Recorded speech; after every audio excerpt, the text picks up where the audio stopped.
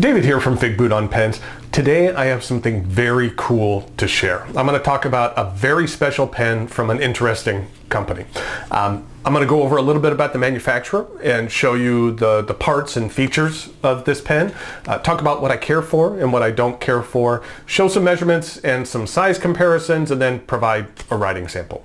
Uh, that sounds like a lot, so uh, let's get to it. Uh, this year, Fountain Pen Day fell on my birthday. So I used this as an excuse to purchase what I had hoped would be a very special pen that would stand out from anything currently in my collection. Um, I decided to purchase, purchase a pen from the Edison Pen Company. Uh, Edison is a, a, small manufacturer based out of Milan, Ohio, uh, which is the boyhood home of Thomas Edison and who served as an inspiration behind the naming of the company.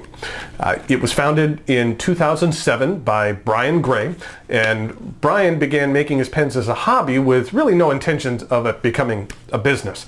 Uh, once he began to share his work with others in the fountain pen community, people began to ask about purchasing the pens, and sales grew up enough over time that Brian was actually finally able to quit his day job. His wife joined the company. They hired on some additional help, and he was able to turn his hobby into a career. And shouldn't we all be so lucky? So Edison has a production line of a few models that they offer through a limited number of retailers like Anderson, uh, Goulet, Van Ness, just to name a few. There's others as well. Uh, then they have their signature line, which is comprised of about 15 different models. Uh, and the awesome thing about selecting a pen from Edison is that they have hundreds of different materials, awesome materials, as well as several different filling systems. Uh, ordering a pen from Edison is a unique experience as well. Um, if you go to their site, you won't find any add to cart buttons or anything like that. Uh, if you're interested in one of their pens, you send an email to Brian that will begin a conversation. And through this conversation, you'll select the model you want, the material you prefer, and, what nib you would like as well. Uh, something neat is that uh, Brian is very open to customizations. So if you like one pen model but the filling system on another model, that Brian will take it as a challenge to give you exactly what you're looking for. Now, not everything is possible, but if it is, then he wants to work with you and make you uh, make you happy. Once you finalize your order, uh, that you'll be provided an estimated turnaround time, which is typically maybe about two to 10 weeks, depending on production schedule. Um, I ordered my pen at the beginning of November and received it at the end of January.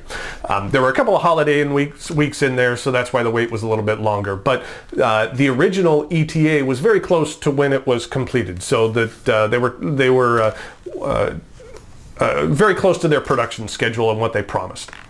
Uh, once your pen is completed, then Brian will send you some nice pictures of your pen so you can give it a final approval before it's shipped. So enough about the process. Uh, let's take a look at the pen. Uh, the pen arrived in this box right here, which has a nice faux crocodile finish to it. And inside are a couple of bookmarks. There is one right here that has a nice a couple of nice pictures of some of Edison's models and some of their materials. Uh, and then there was also a, a, nice little metal bookmark here. Nice little metal bookmark with the Edison pens logo, which was kind of nice.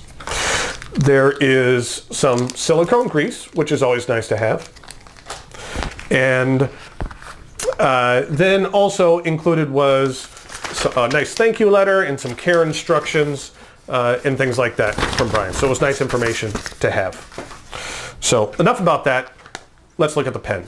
Um, that this is the Edison Menlo pump filler uh, in the light blue translucent, translucent acrylic swirl. Um, when I first saw this material, I was just stunned. This is just amazing. Uh, I, I thought this was the most beautiful pen I'd ever seen. I mean, just look at that. The swirls are incredible here. There is a three-dimensionality to them that makes it different from anything else I had ever seen. And now that I've seen it live in person, I love it even more. It's truly stunning and vibrant. Um, the pen is a classic torpedo shape. Uh, the finial tapers to a smooth point. There's a bit of a point here, but it's very smooth. Uh, we have a very thin clip band, and then we have the clip itself. it's a bit on the, the plain side, uh, but it has a, a, decent amount of tension to it. And, and while it's a bit plain, I feel it matches the style of the pen well. Uh, and with and the silver complements the blue pattern better than uh, a gold trim would have. Um, the cap is translucent, so you can see the nib and feed in here. Um, I understand why it's difficult to do so, but I wish you could um, always make it so that whenever, and it's not just an issue with this pen, it's with any pen with a translucent cap, so that when the pen is capped, that the nib um, lines up exactly with the clip. But that's just me being a little anal about this stuff. But um, I understand the technical limitations of why that's difficult to do. Just a dream. Uh, then we have a, uh, a, a, thin cap band which is inlaid into the cap. And while you can feel the edge of the material just a tiny bit, it, it's very, very smooth. Uh, and then the cap tapers down just slightly, uh, minimizing the step down transition to the barrel, which is again, and the transition again is, is very, very smooth. Engraved on the side of the band is Edison Pens Menlo. Uh, here's a picture of it. The engraving is small and subtle and I like it like that. Um, the barrel tapers down to a rounded end and then we have a blind cap which we'll look at in just a bit here. The cap twists off and we have a very nice section that has a bit of a flare and then widens uh, a bit. The threads are, are, very smooth and virtually unnoticeable when you're gripping the pen. And then there is a little flat portion because the threads are, are set a little bit deeper in, in the cap. There is a, a small step up to the rest of the barrel and it's, again, it's not sharp as well. Then we have this nib. Uh, it's a number six JoWo, and first of all, I think it looks beautiful. The swirling lines look really nice, and I like the Edison Company logo. Uh, this is a medium steel nib, and uh, here's a picture of the feed as well, which I like. It, it kind of has a reddish sheen to it that, that's really interesting. For an extra $100, you can get a, a gold nib, but honestly, I, am perfectly happy with this one.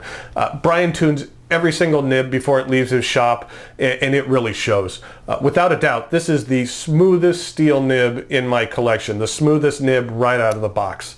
Uh, and Brian says that he, he tunes it to a 7, 7 out of 10 flow, very smooth with just a touch of feedback. And I feel that's an accurate description.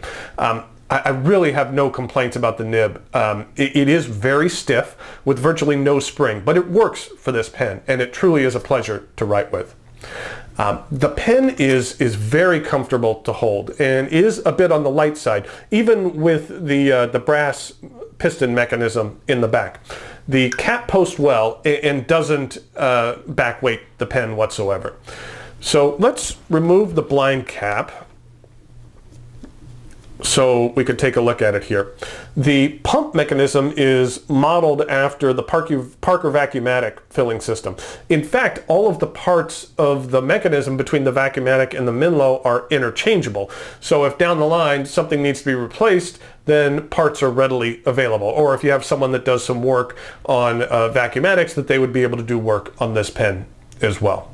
Um, in order to fill the pen, what you do is you submerge the, pen, submerge the pen in ink and then simply depress the pump a few times. Uh, and inside the barrel is a feeder tube which will then suck up the ink uh, each uh, of each pump and give you a, a, actually a very decent fill. Um, I found that this pen likes to write better the more ink it has in it. It isn't a pen you can kind of run dry to the end. Once the ink level gets really low, then the nib will get a little bit finicky. So you just want to make sure that you maintain a decent amount of ink in the pen. Um, the pen has very light tolerances. Every single joint is virtually seamless. Like when I put the blind cap on here, uh, you could barely feel this joint. Um, uh, it's just very, very nice. Uh, something I really appreciate about the craftsmanship is the Menlo has to do with the swirls. Um, of all the pieces of the pen, uh, the, the cap, the section, the barrel, the blind cap, I mean, they're all separate pieces uh, of stock and that um, it would be impossible to have the pattern match exactly throughout each transition. Um, And I don't know if I just got lucky, but the patterns on the, the finial and the blind cap uh, really match up well.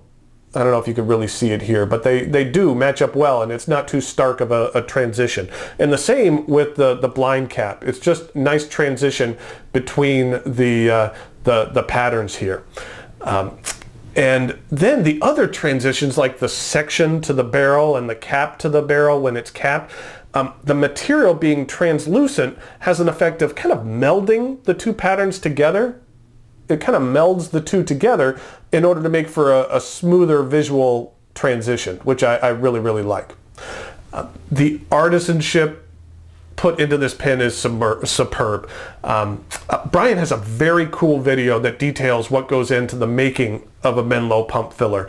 Uh, it's fascinating to watch. Um, uh, here's some highlights uh, of the video which are used with permission. Here's the ribbon stock uh, in its raw form. It just looks amazing. You can really see how it ribbons uh, throughout the uh, entire material. And then they put it in their industrial machine here and um, I thought it was interesting how the material spends, but the uh, the drill bits actually uh, stay where they're at. Uh, and this is a barrel after the initial machining is done to it. And now it's looking more like a barrel, and then now some of the the craftsmanship comes in to where there is um, lots of sanding and filing, filing and, and polishing that, that really go into this. And then some, uh, uh, so a lot of buffing in order to get this thing looking perfect. And, and it does. And then Brian tunes every single nib before it goes out. And that's what a finished product looks like. So there's a link to the video in the, uh, the notes below this re review here in YouTube, uh, as well as a link to Edison pens. Uh, it's over 20 minutes in length and, and very much worthwhile a watch. Uh, I've watched it several times and I'm just fascinated every time I see it. Um, it does uh, an excellent job of showing the care and attention that goes into to each pen that, uh, that Edison, Edison produces. At $350, this is not an inexpensive pen. Uh, I feel, though, the cost is justified. Uh, the nib is incredible. The craftsmanship is impeccable, and the material is just absolutely stunning. Uh, it's inked up right now, and so that's why it's dark in here, or else it would be more translucent like the cap. Uh, this is uh, an amazing pen. I know that it's January, and we'll see how I feel in 11 months, but, but I have a feeling this Menlo will have a very prominent place in my uh, top 10 pens of 2016. So next, I'll show you some measurements, some size comparisons, and then we'll do a writing sample.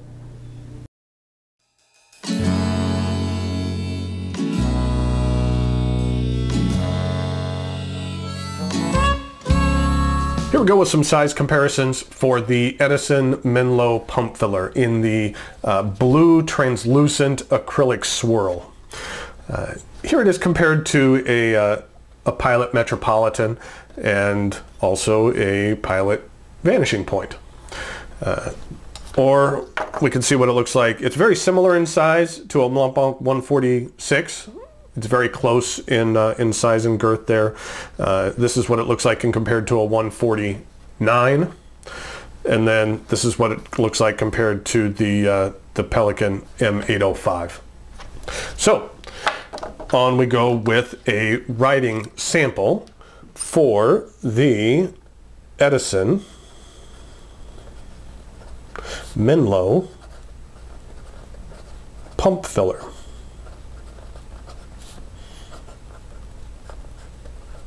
And this is a medium nib and the ink is Waterman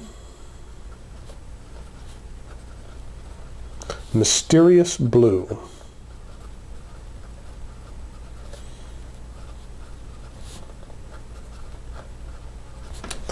This is what the ink looks like. Um, I, you know, I don't have that many comparisons.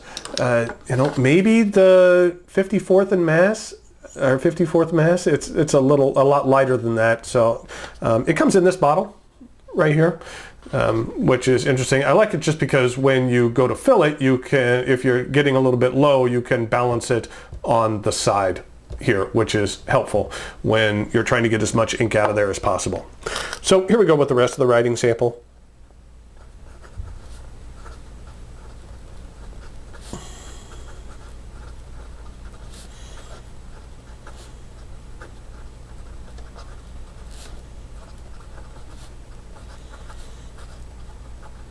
Dog. Uh, I, I, mentioned it in the review, but this is a, a, steel nib and it is very stiff. I really don't want to push this nib too much.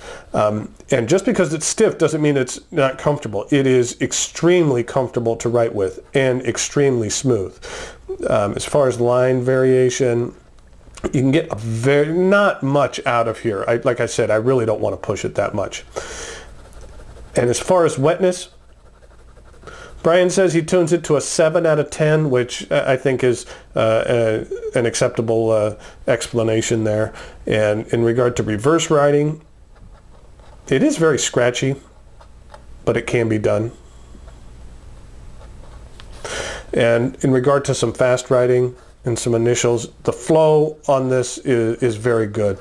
I've never had any skipping problems or hard starts. Um, when the ink is full. Like I, mentioned, once it gets kind of near the bottom, you might run into some issues, but it writes uh, a lot better when you have uh, a larger amount of ink in it. So I know that I have gushed over this pen uh, for a while, and, and in the end, I, I, really feel that it's well deserved. Um, I would strongly encourage you to check out Edison Pens. There's a link to their website down below. Uh, this is not a paid endorsement for them, uh, but uh, I really feel that they have an awesome product, and I, I really can't wait to get my hands on my next pen from them, which is currently on order. So thanks for watching, and we'll talk to you later.